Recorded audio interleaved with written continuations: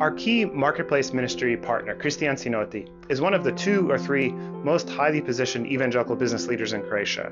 He's passionate to see people come to Christ and also to make a difference in the country. We lead a leader impact group together, and he sponsors our conferences.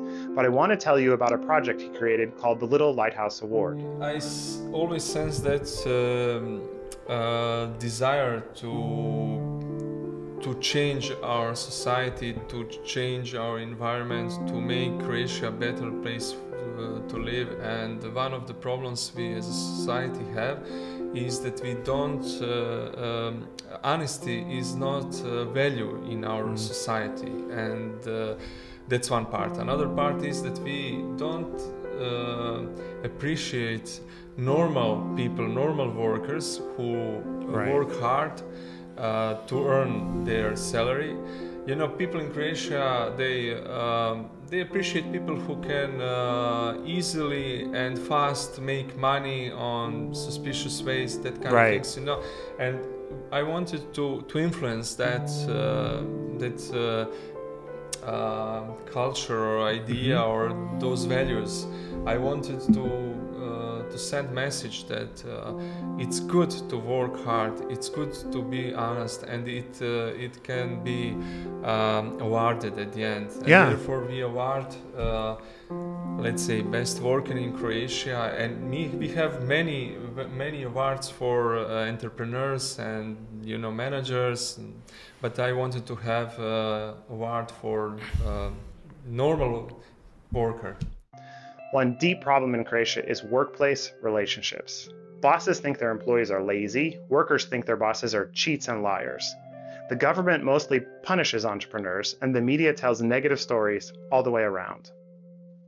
So, five years ago, Christian had the idea to sponsor a yearly award for a normal Croatian worker just for being diligent and ethical. There have been four recipients so far a security guard, two women that work in newsstands, and a man who helps professional Croatian sailors renew their licenses. Each one was blown away to receive the award. Last year, over 500 people submitted a reference for a coworker or just someone they know from interactions in an office or a store. 10 finalists are selected by a jury. The public then is invited to vote for the winner. The prize is close to 15,000 euros. It took a couple of years for the Croatian public to take the award seriously and for the media to start to follow it. The award ceremony happens in the middle of our Croatian Global Leadership Summit in November each year, which draws between 400 and 900 people. It gives the event a dramatic, newsworthy element. Anyone who takes the time to watch the interviews which, with each of the 10 finalists is blown away by the humility and care of these folks. It could feel strange for us as evangelicals and missionaries to cheer on common grace in this way, but there is such a dark spirit around this area in Croatia that it's one of the best ways we have as Christians to grab a cynical public's attention. It reminds me of a quote by G.K. Chesterton I don't deny that there should be priests to remind, to remind men that they will one day die. I only say that at certain strange epochs it is necessary to have another kind of priest called poets, actually to remind men that they are not dead yet. We're not quite poets, but we help remind Croats that there is still hope for the country. When I tell people that we are here to work to change the culture of leadership in this country until it matches the beauty of the land and its people, they get it, they feel it, they know what a difference that would make. None of this comes easily. The award actually bears the name of our dear departed friend, Dražen Glavaš, a man who pioneered marketplace ministry in Croatia before his sudden death at 49 years old in 2017. He had been discussing the award with Christian the night before he died. Ministry in Croatia is, can be very, very draining, but is never boring. And the fields are just wide open to plant a flag in the ground, something like Little Lighthouse, and get the attention of the nation. You never know what is just around the corner. My wife Sandra and I have been in Croatia serving together for 21 years now.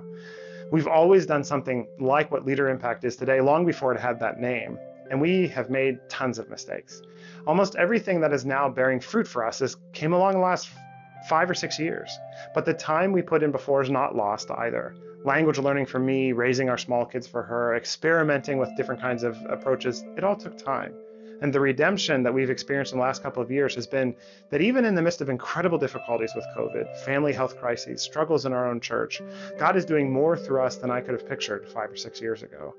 Nothing we do for God is ever lost. It all gets pulled together in the power of the resurrection, and I hope that encourages you as well.